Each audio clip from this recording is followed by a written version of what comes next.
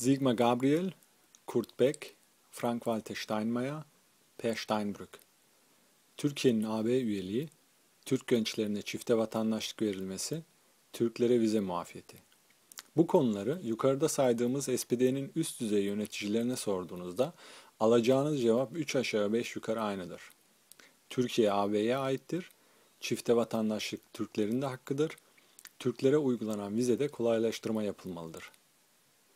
Kısa bir süre önce bir arkadaşım Hamburg Eimsbüttel'de bulunan Kundenzentrum'a gitmiş ve Türkiye'den bir aylık tatile Almanya'ya gelecek olan kardeşinin vize başvurusu için Verpflichtungserklärung yani davetiye almak istemiş. Kardeşi daha önce de gelip gittiği için bu konuda tecrübeli olan arkadaş pasaportunu memura uzatmış ve kardeşi için davetiye almak istediğini söylemiş. Görevli memur gerekli belgeleri sormuş.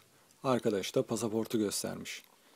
Bunun üzerine memur önüne bir gelir çizelgesi koymuş ve 2010'da başlayan yeni uygulama ile birlikte söz konusu belgeyi almak isteyen kişinin Almanya'da yeterli kazanca sahip olduğunu maaş bordrosu ile kanıtlaması gerektiğini söylemiş. Çizelgeye göre Almanya'ya turist amaçlı bir kişi davet etmek isteyen 4 kişilik bir ailenin mensubu yaklaşık 2300 avro net kazanca sahip olması gerekiyormuş.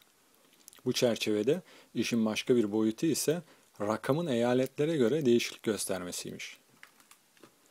En yukarıda saydığım SPD'nin en yukarısındakiler.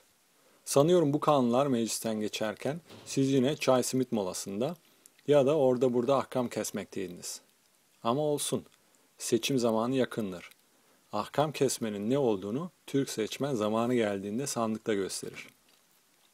Ha bir de ahkam kesmenin ne demek olduğunu anlamayanınız varsa İTÜ sözlüğündeki tanımı şöyledir.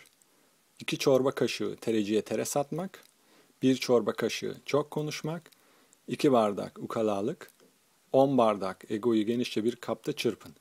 Harmanlayın, eyleminiz servis hazırdır. Hadi afiyet olsun.